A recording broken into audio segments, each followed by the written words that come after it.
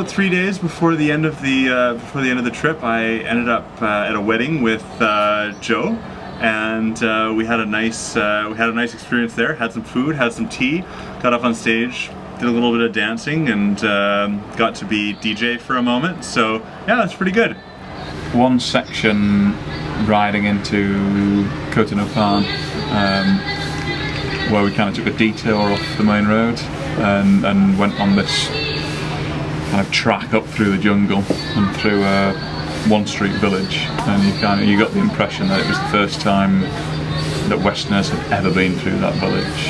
And uh, I mean the, all the kids came flocking out the school, everyone came out the houses to see you. Everyone wanted to say hello, shake your hand, touch your hand to their face. It was um, it was just quite remarkable. And then when you got through it, you were just in the middle of the jungle and you would turn a corner and there's a monkey, a macaque monkey hanging in a tree, or you turn another corner and there's just a great big drop off into a valley and a river running through it. And it was probably the best, the best 90 minutes, two hours of cycling I've ever had in my life, I think. The first day of that huge long climb was uh, an eye opener, but I got up it and it was it was nice because there was a nice hotel at the end, and and uh, and then the next day down into Lake Toba with the day off. That was really nice, very nice. Um, and uh, so uh, I think that kind of set the tone for how to survive the heat and humidity. Sumatra. My favorite part about Sumatra was early on because the people were just so friendly and the kids and they just loved seeing us and you would say hi to everybody. It was almost exhausting, but that was my favorite part was early on. The people were just so wonderful. You know, the rainforest, when we went through the rainforest in the park, the sounds that you heard was just, oh, it was deafening. The sounds of all the animals and the bugs and the baboons, and that was one of my favorite parts was just going through kind of the quiet, but mostly I would say I love the people. What I enjoyed most was hearing Shirley use her Indonesian and engage people in conversation, and I got included in a lot of that. So that was really nice. You know, she had enough Indonesian to actually carry on conversations, and everyone seemed to love doing it. So it really uh, made it uh, fun for both of us. Uh, well, Sumatra has been uh, it's been pretty challenging. Uh, the distances and the climbing and that, but the the climbing's been satisfying. You know, you you finally get to that uh, top and you get a good downhill. But uh, it's, it's been pretty, out of the rides I've done, this is the most challenging I've been on, yeah. I think my favorite story so far has to do with language and it was with um, Danu, our driver. Um, we told him one morning that he needed to make sure that Jackie was in his van because she had had an injury uh, and we didn't want to leave her behind.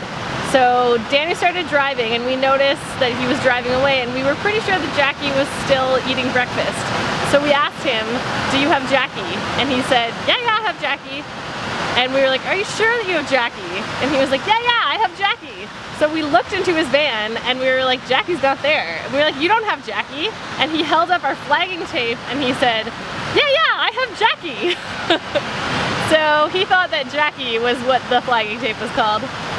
I was surprised about the beauty, the variety, uh, the friendliness and the, the, good roads of Sumatra.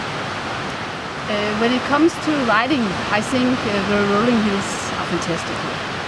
It's like going to Tivoli in Copenhagen, uh, doing a roller coaster ride. And here you, you do it yourself and it's, it's absolutely good fun. I, I, have, I have loved that a lot.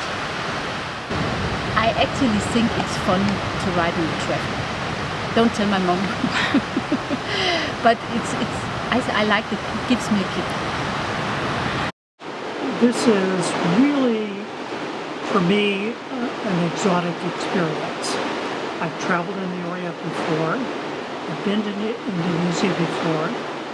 But seeing things up close, intimate, and personal has really been a, a, a fantastic experience.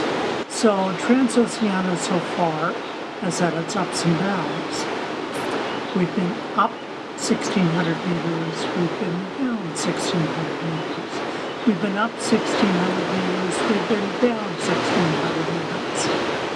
Uh, but apart from the hard physical work of going up and down, it's been a really interesting experience uh, to see a completely different country, to see uh, people close and personal in a way that we wouldn't be able to see them if we were just taking a bus tour through the country.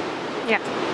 Uh, the sights and the sounds and the smells and the ambience of the place is, has been absolutely phenomenal.